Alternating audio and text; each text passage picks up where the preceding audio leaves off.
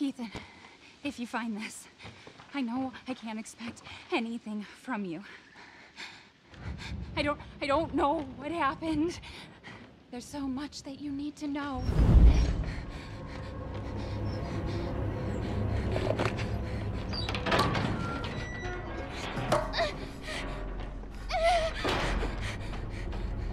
I can't let her catch me again.